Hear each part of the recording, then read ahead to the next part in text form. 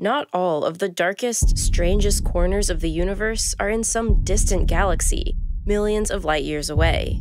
In fact, the most mysterious of these dark places is right here on Earth.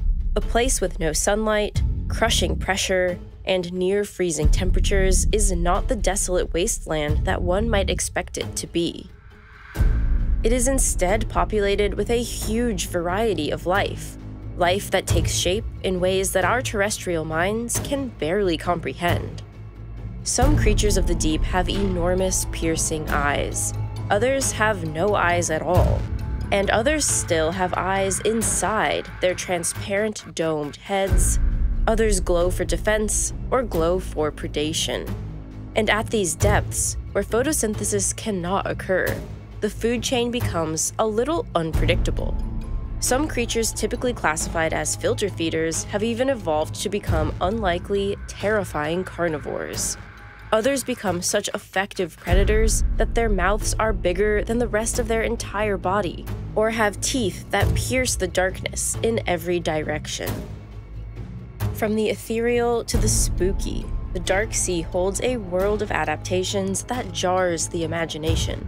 And the deeper you go, the creepier it seems to get. What is it exactly about the deep, dark sea that creates some of the wildest creatures ever discovered?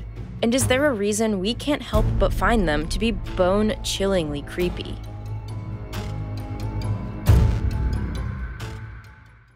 The uppermost layer of the deep sea is the mesopelagic, aka the twilight zone, and it extends from 200 meters to 1,000 meters. A little bit of light still penetrates at these depths, but not much. The very first color to disappear is red, because it has the longest wavelength and the least energy of the visible spectrum. And a lot of creatures that spend time in the Twilight Zone use this to their advantage, evolving to be shades of red that render them practically invisible at these depths. Enter the vampire squid. Catching a glimpse of it in the lights of a submersible, you might understand why it got such a ghastly name. On top of its red skin, it has enormous eyes that seem to glow, and spine like protrusions from its tentacles all give it a far more fearsome look than the cephalopods of shallower waters. But just as its red color seems eerie to us but has a vital evolutionary purpose, so too do its other sinister looking features. Despite its spooky name, vampire squid are not actually bloodthirsty hunters. Unlike almost all other cephalopods, this creature is a detrivore. It gets almost all of its calories from marine snow. Marine snow is particulate matter that trickles down from higher up in the ocean and is made of decaying crustaceans, zooplankton, larvacean houses, diatoms, and fecal matter. The vampire squid has four arm pairs with finger like tendrils called cirri, plus two long retractable filaments. It sits practically motionless around depths of 600 to 900 meters, slowly collecting marine snow on its mucus laden filaments and slurping it down. Scientists were surprised to discover that marine snow has a pretty high nutritional value, but the vampire squid still doesn't have a whole lot of energy to expend. They get by thanks to having a suppressed metabolism much, much lower than any other cephalopod of a comparable size. But as you descend deeper, the cephalopods become even more terrifying. The genus Magnapinna, or the big fin squid, are thought to be the deepest occurring squid genus, with sightings as deep as 6,212 meters. This makes the big fin squid the only known squid to occupy the Hadal Zone, the deepest region of the ocean. Their arms and tentacles can be up to 8 meters long and are usually held at disconcerting right angles, the squid giving itself the appearance of having elbows. And its translucent, shimmering mantle makes the creature seem completely otherworldly. Little is known about the feeding behavior of these squids. Scientists have speculated that they might use their long arms by dragging them along the sea floor and grabbing whatever edible organisms that they can. Alternatively, the arms might passively grab food such as zooplankton or bits of marine snow. But in an environment without any plant life to form the base of the food chain, being a detrivore is far from the only strategy. In fact, a number of organisms that are herbivores or filter feeders in shallower parts of the ocean become carnivores in the deep sea. That's the case with the predatory tunicate. It belongs to the Ascidian family, who are also known as sea squirts, a class of colorful stationary filter feeders that generally live in shallow water. But the predatory tunicate lives much deeper, anywhere from 600 to 1100 meters, and perhaps even deeper. These tunicates are perhaps less terrifying than the bigfin squid, but just as strange. They look almost like an eyeless sock puppet with its mouth open. But this odd design has an important purpose to help them catch prey. As small invertebrates and crustaceans swim by, they sometimes drift into the predatory tunicate's open mouth. That mouth quickly snaps shut and the prey is trapped, facing a slow death by digestion. This is also the case with a whole family of organisms known as carnivorous sponges. They generally start appearing at 200 meters, become fairly common at 4 to 500 meters, and remain dominant all the way down to the hadal zone, below 6,000 meters. Shallow water sponge species are filter feeders like sea squirts, living on bacteria and phytoplankton. They're even harvested as shower loofahs, their porous bodies being a good mechanism to hold and form soap bubbles. But you most definitely do not want to wash yourself with a carnivorous sponge. And that's because they're covered in tiny spears and hooks used to passively trap small swimming creatures. The sponges don't have to do much work. Whether it's the harp sponge with its long rows of spines, or the ping pong tree sponge with its bulbous spheres, these stationary organisms are highly effective predators. They just wait for the ocean currents to sweep creatures into their spines, and then they feast.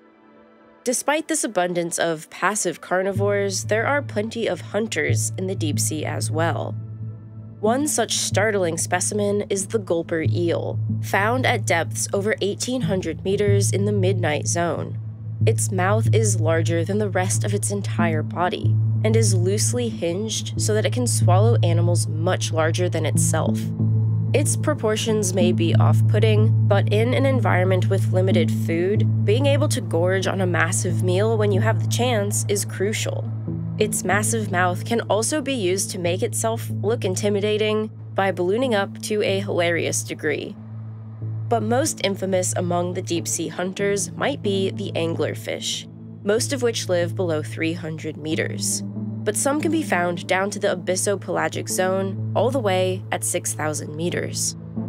There are hundreds of species that fall under the catch all term of anglerfish, which comes from the way they generally hunt, with a lure attached to their heads to attract prey. This is comprised of an illicium, the modified dorsal spine that acts as a fishing rod, and an esca, the bulbous bioluminescent fishing lure which gets its glow from symbiotic bacteria. And by using these lures, anglerfish attract a variety of prey species to their gaping mouths, and they've been known to consume absurd quantities of food all at once. Researchers once captured a black sea devil that weighed 8.8 grams, but its stomach held 12.3 grams worth of eels. In other words, its stomach alone managed to hold one and a half times its body weight in food. To be able to consume whatever they come across, anglerfish have highly flexible jaws and generally have teeth that point inward, meaning that whenever they trap their prey, there's little chance of the creature escaping. And just like the gulper eel, their strategy of gorging themselves whenever they can get a meal is a huge advantage in an environment where food is scarce. While some creatures use bioluminescence for predation, others use it to disguise themselves, a strategy called counter illumination. The lights on their bellies helps obscure their outline against the very faint patches of light coming from above. But there are some predators who have found ways to see their prey camouflaging in this way. And perhaps the most incredible of these is Macropinna microstoma, or the Pacific barrel-eye fish, arguably the craziest looking fish in the entire ocean. These fish have enormous tubular eyes that are directed upward, allowing them to see prey swimming overhead. And these eyes are encased inside their head, closed in by a transparent shield. Their vision is so good that they can not only pick out the silhouettes of their prey, even if it's using bioluminescence, but also gauge the depth they're swimming at and therefore their distance from them. But initially, scientists were confused about how it could effectively hunt when its tiny mouth points in a different direction than its eyes. They wouldn't be able to keep their eyes on the prey while moving their mouth to eat it. But the scientists were shocked to discover that the eyes can roll forward and see through the front of their heads as well as the top, for a maximum arc of 75 degrees. For comparison, humans can only move our eyes about 45 degrees at most. For us to do what barrel eye fish do, we would essentially be able to look directly up at our brains. This strange adaptation allows barrel eye fish to keep their prey in view at all times, even as it snaps its body vertically to snatch the food swimming above it. But barrel eye fish live in the twilight zone, where there's still a tiny bit of light available for them to make use of.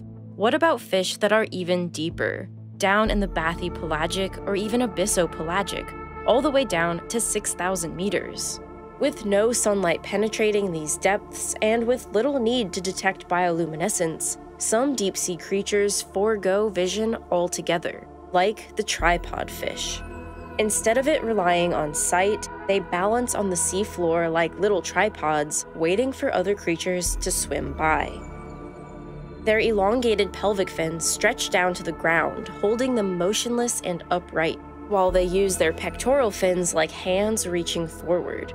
These fins are filled with enlarged spinal nerves, which helps them sense the water currents and whatever objects might float their way, from small crustaceans to fish. In this way, they're essentially able to sit tight and wait for food to come to them, even though they can't see it. And while these fish are certainly deep, they are by no means the deepest ones. Recently, scientists exploring a marine trench near Japan were stunned to find a fish living 8,336 meters below the surface, the deepest fish anyone has ever found and is likely to ever find. What they found is a type of hadal snailfish, a translucent, scaleless, tadpole shaped creature. Little is known about this ghostly, ethereal fish that thrives in a place named after Hades itself. Is this deepest of fish the creepiest? Maybe not, though it's certainly not winning any beauty contests. But from the beginning of the ocean depths, just as sunlight disappears, down to the crushing depths of the deepest trenches. There's no denying that the creatures who live here seem like characters out of the darkest corners of our imagination. And yet, every freaky adaptation is something crafted by millions of years of evolution to live in such an unusual environment. It's not hard to see why deep sea creatures invoke creepy feelings in us. The creatures are nothing like the ones we see in our daily lives, and without the advent of robotics, we would never be able to see them in their natural habitat. Their habitat is so far removed from us that we liken it to the underworld. And for whatever reason, humanity subscribes to the archetype that the sky holds possibilities, euphoric cloud nines, and heaven itself, whereas the depths hold fears, secrets, and eternal death. Perhaps this is no surprise, as intelligent air breathing mammals, that what is bright and known is safe to us, and the unfathomable sea, mysterious, dark, and otherworldly, is not. But our ancestral consciousness perhaps never grasped that the world is all connected, that the bountiful rivers and shores that we rely on are directly linked to the deepest parts of the sea, that what seems alien is in fact a vital part of our world and deserves our consideration, care, and protection like any other part of our planet. The evolution of ocean creatures is undeniably fascinating, for all the freaky and foreign adaptations that excite our imaginations. But some of the most astonishing adaptations on Earth happen right here on land and in our own species. Human eyesight is one of the most complex biological processes we know of, but what's even more amazing is what individuals who have lost their sight are still able to see. Human sonar allows people without sight to see with sound. and other individuals who lost their sight due to damage to their visual cortex can still complete obstacle courses with no knowledge that they even did so. These phenomena are the subject of the next Real Science video, which you can watch now, two weeks early, on Nebula. Nebula is the streaming platform made by me and several other educational YouTube content creators. It's a place where we can take more risks, upload videos early, and post original content that doesn't necessarily fit on YouTube.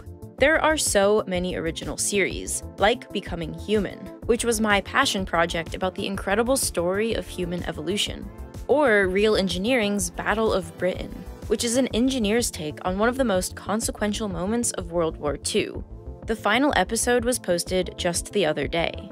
Nebula has even produced a feature length film called Night of the Coconut and a genre bending award winning play called The Prince, which you can watch in its entirety on Nebula. And now, if you sign up with the link below, subscribers also get access to classes. You can watch dozens of in depth classes of creators teaching you how to create. Nebula is a goldmine for fun and educational content with no ads. And coming soon, you'll see even more original projects from us at the Real Science team. So if you sign up using the link below, you can support this channel directly and get both Nebula and Nebula classes for 40% off the annual plan for just $30 for the entire year.